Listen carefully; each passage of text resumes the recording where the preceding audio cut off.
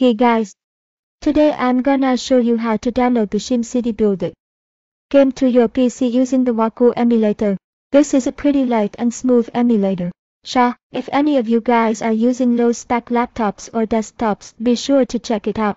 I've put the link to the emulator in the description below, or comment on this video. Just scroll down while you watch this to check it out and click on it to download. By the way, if you're using Chrome, the downloaded file will be at the bottom left of your screen. Just click on it and it will show a prompt. Click the install button in the middle to install the emulator onto your computer. The installation time is pretty quick, about 3 to 4 minutes and you're good to go. And once you finish installing, just open up the emulator.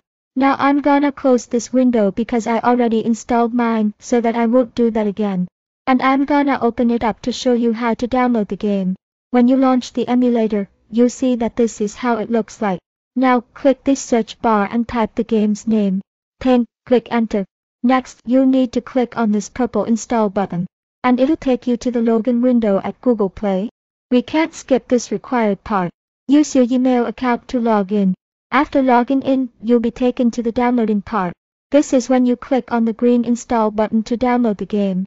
I've already logged in before, that's why I'm not logging in now, and you just need to log in once. Once the download is completed, you'll see that the green button has turned to an open button. Click on it and the game will open and you can now play it for yourself. On a small note, while installing the emulator and downloading games, if you run into errors, Please leave some feedback in the comment section and I'll help you out. Enjoy your games.